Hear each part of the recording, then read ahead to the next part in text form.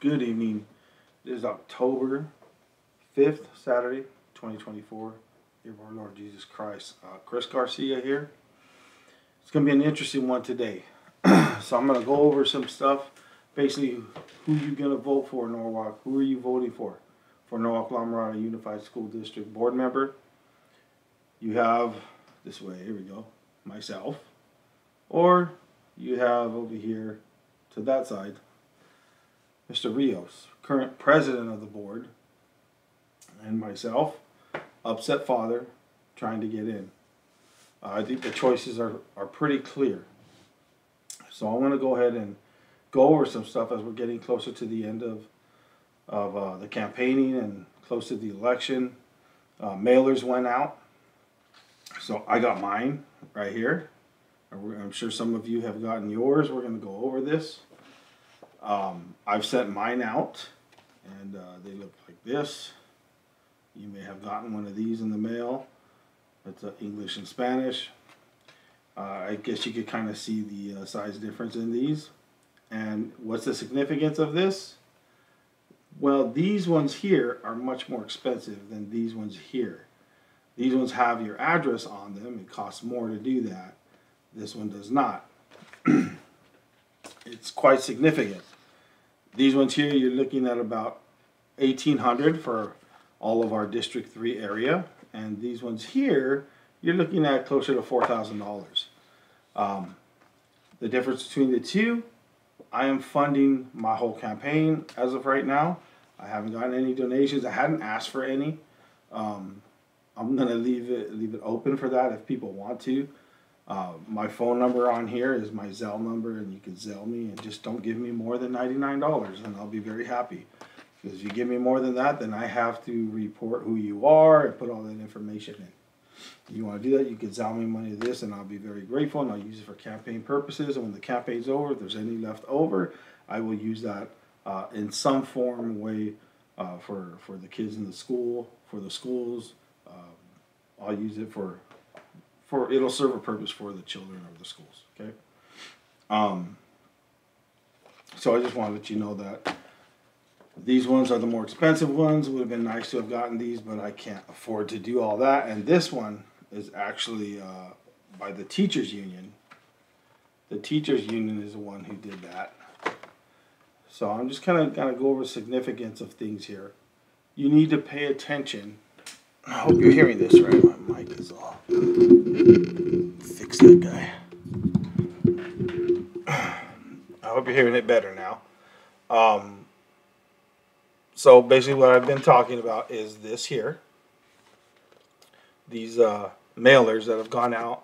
I spent eighteen hundred of my own money on this guy, and the teachers union spent approximately four thousand dollars or so around there on those. So they're endorsing him, which I'm not sure as to why. And let's kind of let's get into that. Why why are they endorsing him? What do what do I have to say that would make that not a good idea? Okay. Oh, now it doesn't want to switch over. See, I don't have my tech guy here today, so I'm doing this on my own. There we go. So you should be able to see this. uh, on the screen here, we have Norwalk High volunteer track coach arrested in alleged off-campus sexual assaults of two female students. That is in our district. Okay. Uh, a lot of the stuff I didn't even know about. You have to look into it, try to find it. Uh, and and here we go. It's this guy here. I'm very curious as if to if they let him back in since he's out on bail. I wonder if they let him back into the school. I guess we have to find that out right? This is stuff they won't talk about. You won't learn about this stuff from from uh, this guy right here. He's not going to tell you about this stuff going on, and he probably won't even comment on any of that. He'll give you a no comment. Okay. Oh, look at this gentleman right here. Not so much of a gentleman. Popular youth sports coach convicted of molesting student. Isn't that something? That's August 1st, 2024. So this guy was involved in all kinds of different schools and different locations. Uh, from my understanding, this is the guy that was also another one from Norwalk High. So if you look this guy up, uh, I believe this is the. Um, I believe this guy is the cheerleading coach, if I'm not mistaken. This is the Norwalk Patriot. This is our uh, our news uh, newspaper. But he was charged with sexual assault. Didn't happen on campus, but this guy's working for the district. So now we got two stories, right? We got two stories. But here's the here's the kicker. There it is. Look at this guy. Okay. This guy. This guy is a cause of school district faces lawsuit for negligence after Norwalk teacher's sexual abuse conviction. So this guy had some allegations come against him in 2017. Okay. He was taken out for approximately a year or so, and then he was let back in. He was let back in to, to teach uh, roughly about a year later. Okay. Now, why is that significant? Most of the board members currently weren't on the board at the time. All right. But this guy, he was on the board in 2020. So in 2020, he was on the board. They they began a, another investigation on this guy in 2022. Now, he should have been relieved of duty immediately, but he wasn't. And he should have never been let back, but he was. And he should have been relieved uh, second time around. They didn't do it. So apparently, he did it to more children, and that's why the lawsuit, that's why the, the negligence tag right there. So my question is, if that was your child that that happened to, right? And and in 2020, this guy was on the board, and he's currently the president of the board. Would you vote for this guy? Would you vote for him, knowing that he could have done something about this guy? He could have said, "Hey, this guy's got to go. We can't have him in our schools." This is the stuff that pisses me off, and it should piss you off as a parent. Like it's disgusting that these type of things are going on. I, I've already done another video about different abuse scandals that are going on within different schools. This was at an elementary school, and it's just it's it's just disgusting. It's frustrating. Um, the whole board should be ashamed of themselves right now. I mean, this this even a lot of those board members who weren't here uh, when this all took place, he was he was he's the president of the board. Why aren't the other board members asking for this guy's resignation? Why aren't they doing it? What is it that they have to hide?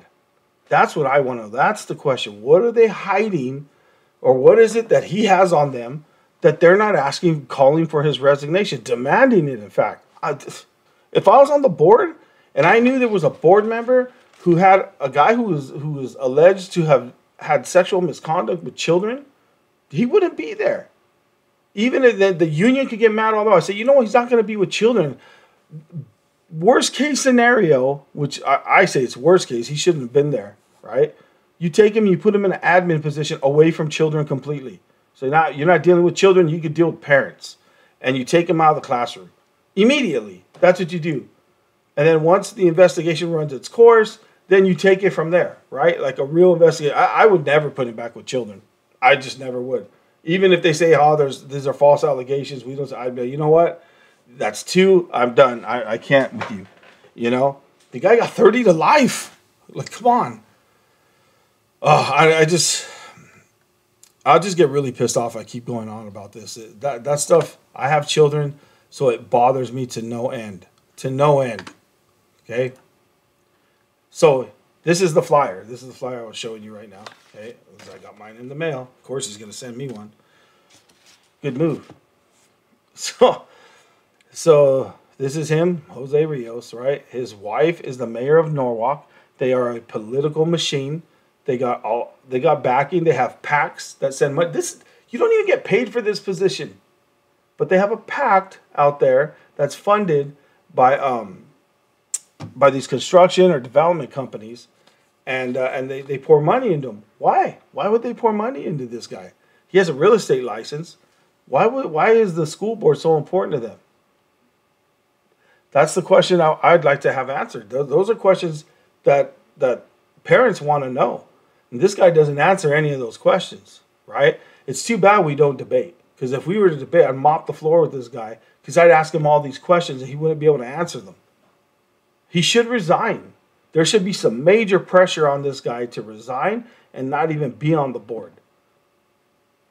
So he's got, you know, he's got his family. He he's got him right here, the family, the whole bit. All his uh, his kids graduated through this district. Um, his he has grandchildren apparently that come come to the schools in this district. Um, I don't know. For me personally, I, I don't know how he could live with himself knowing that this this guy was in there, and then these other ones that have been popping up lately. It's uh, the other, the first two that I showed you. Th- those are very recent, and he's the president of the board, and this is going on. And you know what happens when things like that keep keep happening? There's no accountability, no real accountability. What ha- what happens is they'll get rid of a teacher, but they won't talk about it. They sweep it under the rug. There's no shame. There's no. It's just let's not talk about it. That way, it doesn't make the district look bad. When you have something happen, you need to address it immediately. Talk to the media. Let them know, hey, this happened. This is what we did to address it. So that, and then this is what we're doing to make sure these type of things won't happen again. They don't do any of that. They, no comment. That's what they do. Okay, that's his leadership. That's who's there now. So all of you in Norwalk who have been getting my signs and getting my, my door hanger flyers, and you're watching these videos, you're seeing this, ask yourself this question. Do you, if it was your child that was molested by that pig, would you want to leave this man who was there who could have kicked that guy out of the district? Would you still vote for him? Are you still going to vote for this guy? Like think about those poor those poor children. I mean, to me, it's awful. It's awful. Look what he has here equity for all students. I would really like him to qualify this. What does that mean, equity for all students? What exactly does that mean? I think he should come out and he should say what that means, right? Uh, October 16th, we're going to have this uh, uh, Chamber of Commerce is going to have this little forum where they're going to ask us questions and we have to give our answers, right? You know, they might be asking about what programs, funding, stuff like that, questions like that, right? I'm very curious as to if he's if there's going to be any questions about this because I'm certainly bringing it up. I am certainly going to bring it up. It's not a debate forum, but there's going to be probably several of us up on the forum, and, and we're going to get the same questions to us. Well, I'm gonna I'm gonna I'm gonna bring it up. I'm bringing it up. So you know I'm gonna bring up all this stuff. Student safety. What are you going to do? What are you going to do to make sure nothing happens like this again? And just to make sure he doesn't steal my idea because I've already publicly said this, and, I, and those of you who have gone door to door and have heard me, my solution to this is to put cameras in the classroom. Now, I've already been told online, oh, the, the union's going to come after you. The teachers' union that's supporting him, right? They're going to come after. They, they won't allow that. It'll be dead on arrival. No, it won't. No, it won't. Oh, privacy for the students. What are you talking about? Privacy for the students. That's what they've been saying. The students have to have their privacy. Um, it's a public school. You want privacy? Go to a private school. This is public school. So I think if it's public school, then they should be open to the public. We should be able to see it. Now, do I think everybody should see what goes on in the classroom? No. But if your child is in there, you should have, there should be a live feed. They could create a link that only give it to the parents, and the parents are able to see what's going on in the classroom. I think that's fair. I think they should do that. I mean, when these kids get out of school, they're going to be out in public where there's going to be cameras everywhere they go. Where they work, there's going to be cameras. The certain areas you don't have to have it, like the teacher's lunchroom, they could go into their lunchroom and, and no kids will be allowed in there. Areas where kids are, are not allowed uh, and, and adults are, or teachers are on their own doing their own thing, teachers' lounge, restrooms, no cameras, right? But there should be cameras in the classrooms and outside along the school grounds so we can see what goes on. God forbid something worse happens, we could have footage of exactly what took place. And, and if there's something bad that happens, uh, law enforcement can put plans together to to eliminate these type of things from happening again. Uh, it, it, just makes too much sense to put cameras in. People said, "Oh, where are you going to get, get the money from that?" Oh, we can start by cutting the administrators how much they get paid, because superintendent gets three hundred twenty-eight thousand dollars a year. So you cut that down to about one seventy-five, and you have a lot of money right there uh, to go towards cameras. The, the assistant superintendent is making over 200,000. You cut hers down to like 125, 150. there's some extra money there. A couple hundred grand. Cameras up, right? I think that's good. He has strategic enrollment solutions. Okay, he's been there three and a half years. Enrollment ain't going nowhere. It's going down. Oh, it's COVID. COVID. So it's not COVID's fault. Part of it, a small part of it, people are leaving California. Yes, that's a small part of it. But what's the bigger problem? The bigger problem is one, the curriculum, right? Parents don't want their kids learning nonsense. Well, all these different genders, all these different pronouns, all that. No one wants that stuff. Nobody likes it. None of the parents like it. I go door to door. They, I talk to the parents. Nobody likes it. And they're, they're afraid to say anything about it. That's, that's the culture we live in today. I'm not afraid. There's, there's two sexes. It's male and female. Gender, two sexes, male, female.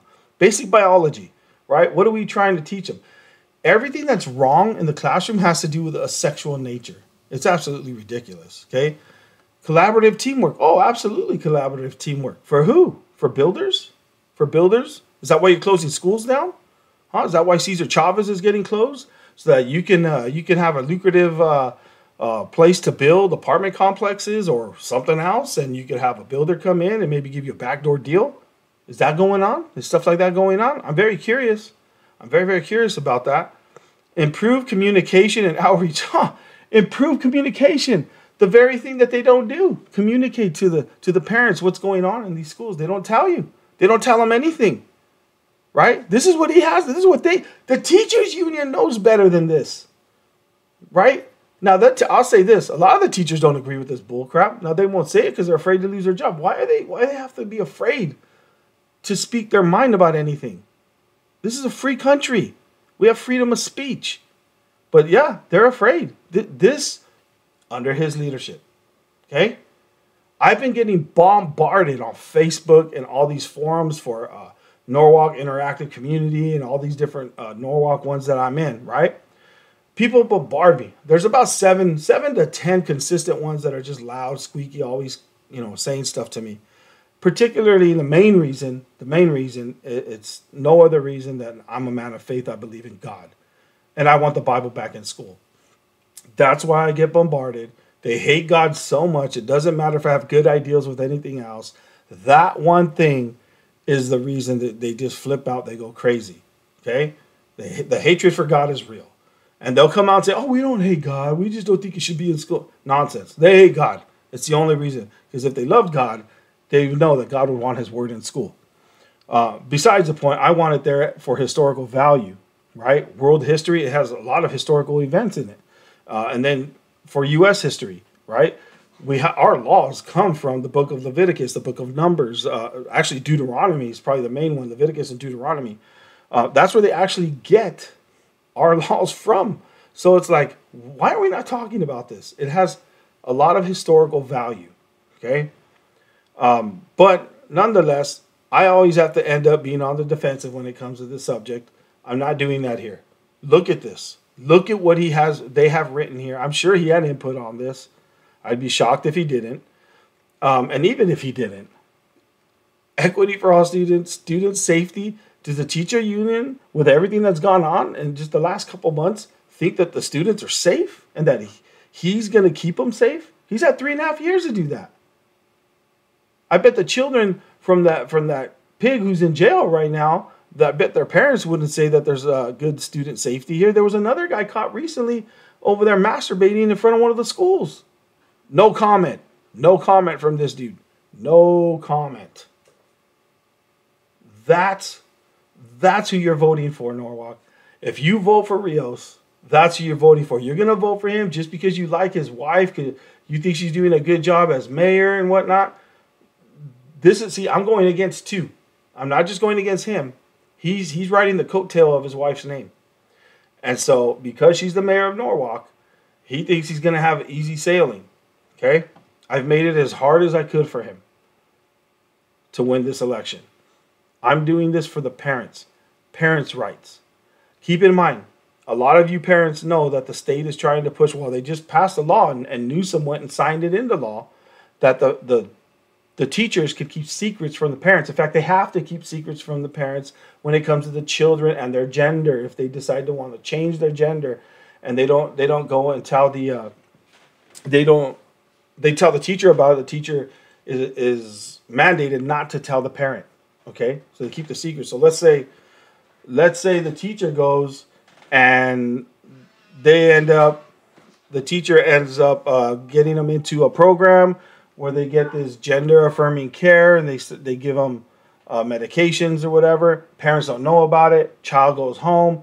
Uh, let's say a week later, child gets sick. Take the child to emergency. They take the child in. Uh, doctor asks parent, uh, is, "What medications is he or she on?" And well, none. Perfectly fine. Sick out of nowhere.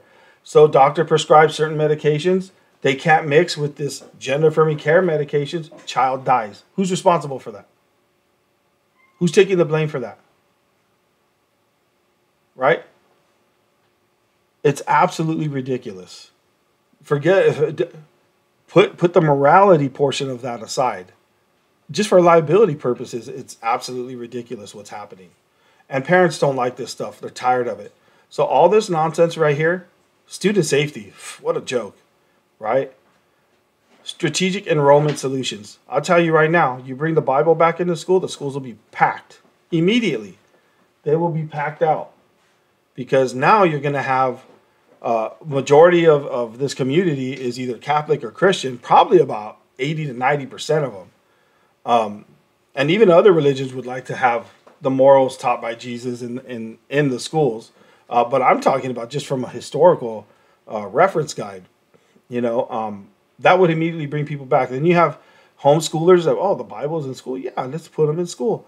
Then you have people who, who are paying a lot of money to put their kids in private school, might who, who are probably struggling, might say, you know what, let me reconsider. Let me put them in the public school. They're teaching the Bible. So, you know, that's got to be nice. So they bring them back. Immediately, the whole enrollment issue goes away.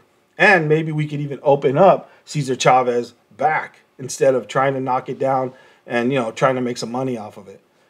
Um, again, if you're getting if you're getting overflow with enrollment, that's going to end all the money issues that the district currently has. Now we have to weed out all the perverts because you're going to keep getting lawsuits if that stuff keeps happening. Uh, and if I'm in there, we're going to do our best to end all that. Um, like I said, cameras in classrooms that'll end that part because if it happens, we'll see it. And you know, someone if it happened live, someone could pick up the phone, call nine one one, catch him in the act. I get so mad with that topic.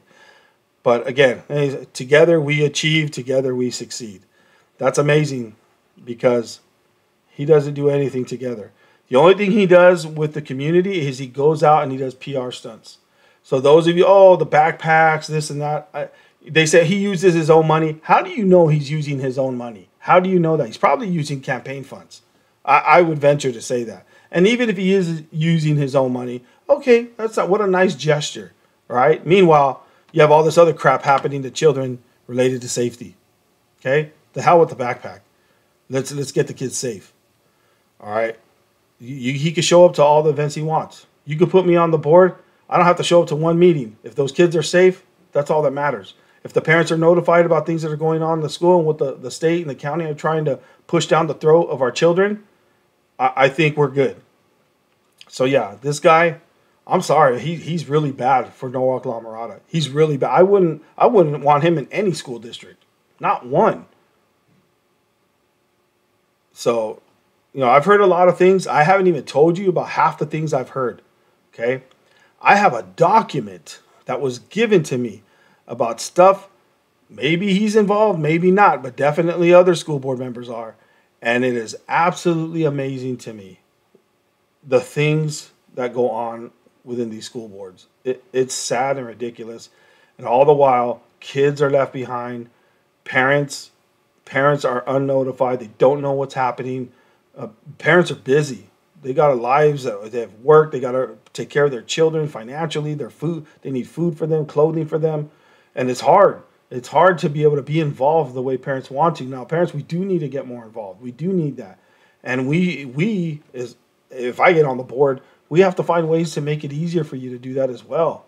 You know, maybe have Zoom meetings or so, just something to keep you informed with things that are going on. I put my phone number out there on all of my flyers, my business cards, everything. It has my phone number. I get on the board. You guys will be able to call me and you can hold me accountable. If something goes wrong, I'm not going to run away from it. If it's something that's really bad, I'm, I'm going to address it. and I'm going to apologize and I'm going to say, you know what, this is not what we're about. And we're going to fix whatever that problem is. Uh, but but not to talk to you guys, not to let you know what's happening. That's on us. Mark my words. I get on this board. I will still go door to door when there's certain events or whatever. I can't reach everybody, but I'll do my best, and I'll still have my YouTube channel, and I'll let you go. Hey, this and this is going on. If you guys can make it, it'd be great to see you there. Some of you I've met face to face already. Uh, this has got to be something that you feel this is good. Everything I'm telling you and I'm doing, I'm showing you, you know it's a good thing. Have you heard from this guy? Has he knocked on your door? He might after this video comes out. He might start doing it. He should. And then you could ask him all these questions like, what the heck is really going on in this district? What have you done to Norwalk? So I'll leave you with that, you know, before I get really upset and hyped up. And I know this video went a little bit longer, but I think this needed to be talked about and needed to be shared because they're not going to give me a debate with him. So this is the best I can do. If he wants to reply to this, he wants to have an interview debate with me on, on this YouTube channel, face to face. Open invitation. Mr. Rios, you want to come over and have a debate with me or just talk about these issues? Open door. Come on in. I won't even go crazy on you. We'll just talk it out and let everybody see and you can – address these issues that I brought up today. Okay, for the rest of you, God bless. You have a good one. And remember, Folk Garcia.